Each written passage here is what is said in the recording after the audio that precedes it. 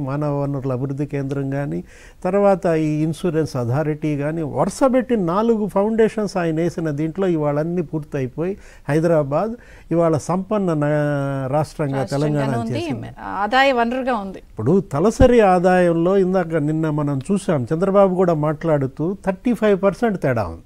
ఎవరికి? తెలంగాణకి ఆంధ్రప్రదేశ్కి. దాన్ని నేను ఐదేళ్ళలో మోడీ వన్ పాయింట్ ఓలో ఏంటి?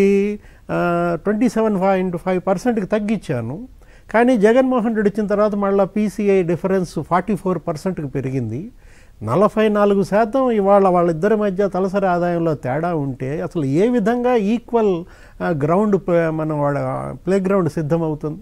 ఇది తగ్గించాలా? ఏది? ఈ ఈ వ్యత్యాసాలు తగ్గాల? దానికి తగ్గట్టుగా కేంద్రం నుంచి నిధులు రావాలి. అప్పుడు స్వర్ణ చతుర్భుజి రహదారులు ఎలా అయితే మార్చేశాయో ఇప్పుడు ఇక్కడ కూడా ట్రయాంగులర్గా డెవలప్మెంట్ జరగాలి. ఏది? నిన్న కూడా మనం చూసాం ఆ అమిత్ షాకి ఇచ్చినటువంటి వినతి పత్రంలో కూడా Hyderabad Amaravati green field express highway. అది గనక ఎయిట్ లేన్ గనక అయిందనుకోండి అద్భుతమైన ఇది వచ్చేస్తుంది. హైదరాబాద్ బెంగళూరు. అది కూడా నేషనల్ హైవే. అది రెండు వందల ఎనభై కిలోమీటర్లు ఏపీలో ఉంటుంది. దాన్ని గనక ట్వెల్వ్ లేన్గా చేస్తున్నారు ఇప్పుడు. ఏది? ఇలా మనం ఇప్పుడు అమరావతి అనంతపురం జగన్మోహన్ రెడ్డి ఏదైతే నిర్లక్ష్యం చేశాడో ఆ గ్రీన్ ఫీల్డ్ ఎక్స్ప్రెస్ హైవే అది కూడా గనక సాకారం చేయగలిగితే ఆంధ్రప్రదేశ్కి మహర్దశ అన్నమాట. ఇవాళ జగన్మోహన్ రెడ్డి ఢిల్లీ పర్యటనలకి చంద్రబాబు ఢిల్లీ పర్యటనలకి తేడా మాట్లాడాలి.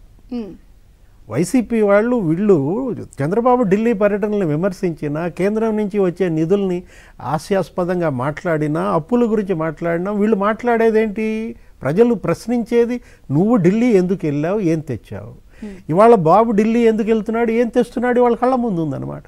స్వీయ ప్రయోజనాల కోసం కేసుల నుంచి బయటపడటం కోసం జగన్మోహన్ రెడ్డి ఢిల్లీ పర్యటనలోనే అప్రదిష్ట మనం చూసాం రాష్ట్రం కోసం ఇవాళ మరి ఢిల్లీ నుంచి రాబట్టేది మెమరాండాలు కూడా డేట్లు మార్చి ఇచ్చిన సందర్భాలే చూసాం. అదే ఉండేది ఎప్పుడు మ్యాటర్. అంతే కదా ఎక్కడో ఎవరో ఒక పారిశ్రామికవేత్తను పట్టుకుంటే జార్జియాలో ఆయన్ని విడిపి విడిపించమని చెప్పి వీళ్ళంతా ఎంపీలు ప్రధాని గెలిచారని మనం చూసాము. అవినాష్ రెడ్డి కేసుల కోసమో జగన్మోహన్ రెడ్డి కేసుల కోసమో ఇరవై రెండు మంది ఎంపీలు పదకొండు మంది రాజ్యసభ సభ్యుల్ని తాకట్టు పెట్టారనే చెడ్డ పేరు తెచ్చుకున్న నేపథ్యంలో ఇవాళ బీహార్ ఎన్నికలు వస్తున్నాయమ్మా ఎన్నికలు వస్తున్నాయి కదా అని చెప్పి ఆ రాష్ట్రానికే ఎక్కువ ప్రకటనలు ప్యాకేజీలు ఇవ్వటం కాదు.